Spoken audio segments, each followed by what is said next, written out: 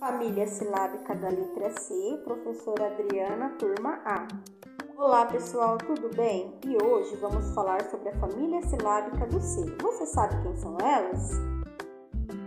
K, C, Si, Co, Cu. Observem que o C e o Si têm som diferente. C, Si.